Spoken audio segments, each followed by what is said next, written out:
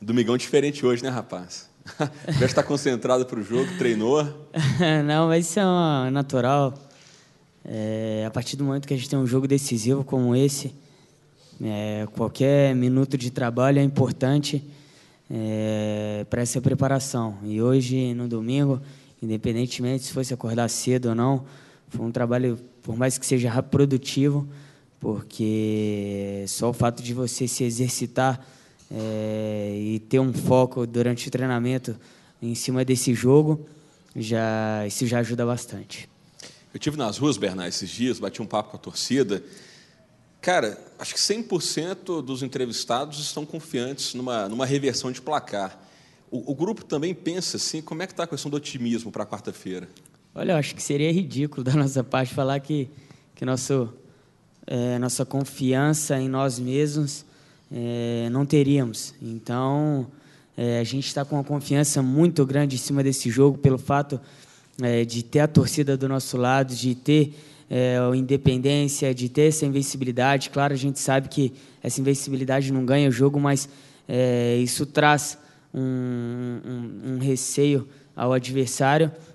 Então, a nossa confiança está super grande para que a gente possa reverter essa situação é, a gente sabe que no mínimo a gente precisa de dois gols, mas a gente tem que pensar no primeiro para que as coisas possam acontecer naturalmente dentro do jogo. Bernardo, bom dia. É, no Globo Esporte de ontem a gente mostrou uma conversa sua com Marcos Rocha, em que o assunto parecia ser uma possível negociação. Existe alguma proposta, alguma coisa de concreto? gente, eu já falei que eu não vou falar mais sobre isso. O meu presidente falou diante da Sport TV ao vivo que eu tinha cinco propostas. E acho que isso é natural, o jogador conversar sobre isso é, em off, né? Porque aquilo ali que fizeram ali durante a entrevista, durante o treinamento, é, eu ainda não tinha visto, mas aconteceu. E o meu foco é diante desse jogo, um jogo super importante, um jogo decisivo, um jogo que representa muita coisa para é, para o Atlético, representa muita coisa para os jogadores, representa muita coisa para a história do Atlético. Então, e, o foco tem que ser totalmente em cima disso. Transferência vem ao segundo caso. E se eu não falo mais sobre isso, isso cabe ao presidente, cabe ao meu empresário, cabe aos meus procuradores. Eu estou diretamente ligado a esse jogo porque eu sei que, que esse jogo pode ser também é, um dos mais importantes aí para mim. Em relação ao jogo, o que, que você acha que o Atlético precisa ter e fazer para reverter essa vantagem do News? Olha, precisa ter paciência, precisa ter tranquilidade. A gente sabe que, que vai ser um jogo truncado, um jogo difícil, um jogo complicado, mas não podemos sair atacando de qualquer maneira, defendendo de qualquer maneira, querendo o gol a todo instante. A gente tem que ter tranquilidade, tem que ficar com a bola, não fazer nada diferente as coisas vão acontecer naturalmente, as coisas vão é, acontecer é, no momento certo, na hora certa. É, então, é, é fazer o que a gente vinha fazendo feito durante os outros jogos, com mais entrega, com mais dedicação, com mais concentração. É, esse jogo exige da gente não só 100% da gente, isso aí vai exigir mais do que isso. Bernard, é, você falou que o Atlético joga em casa, quarta-feira contra o Nilson, tem um bom retrospecto jogando no Horto. E o que, que deu para tirar lá da, da equipe argentina? O Atlético teve chances também de marcar com você, com o Ronaldo também no segundo tempo. O que, que deu para conhecer sobre eles que o Atlético pode explorar aqui em Belo Horizonte? É uma, é uma equipe diferentemente das outras da Argentina. É uma equipe que joga e deixa jogar. Mas, e tem um trio de ataque também muito rápido. E, então, deu para tirar várias coisas diante dos vídeos.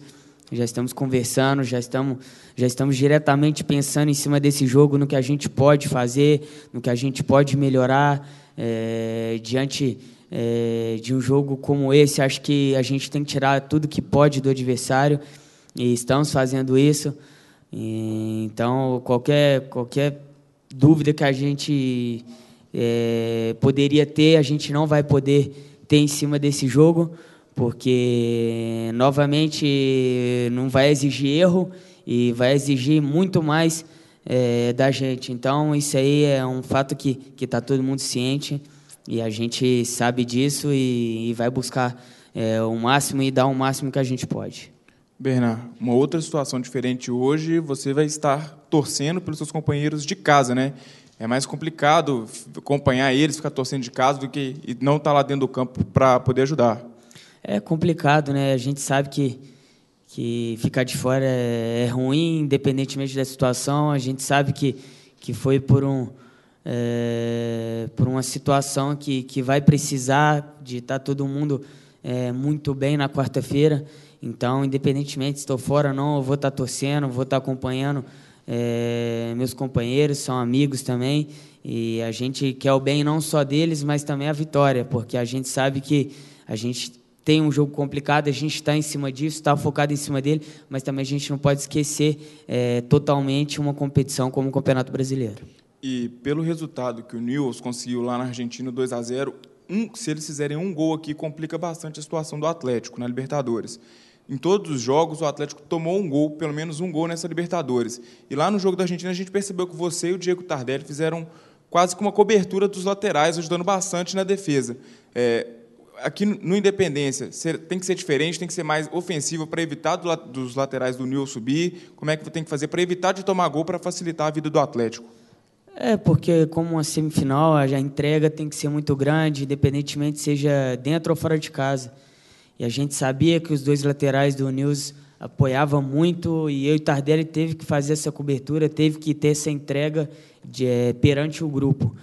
E no Independência não é fazer nada diferente, a gente tem que ter essa entrega, tem que correr atrás, tem que marcar, é, tem que correr, tem que se entregar e, e dar, é, como eu disse, dar 110%, 120%, porque isso vai exigir da gente. Então, se tiver que correr até a linha de fundo para marcar, se tiver ter que é, tirar forças para atacar também.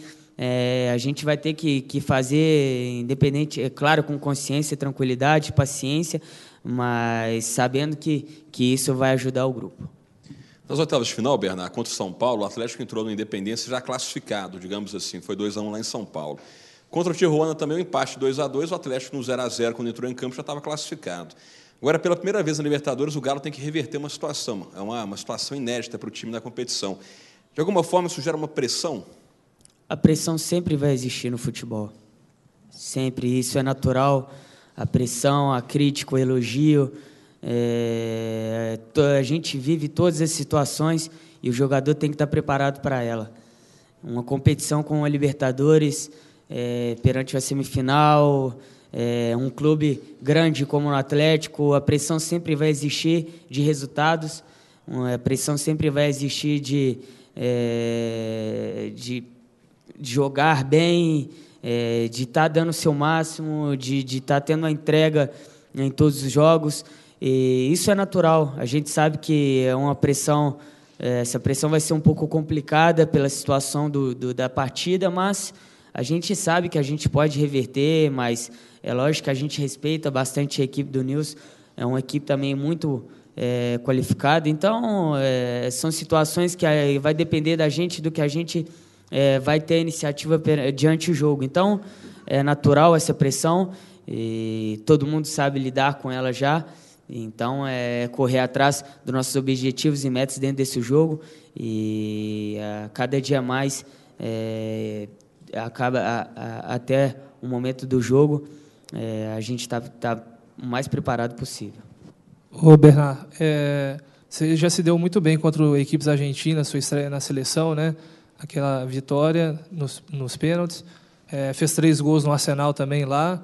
É, isso serve um pouco de motivação para você nesse momento contra o News?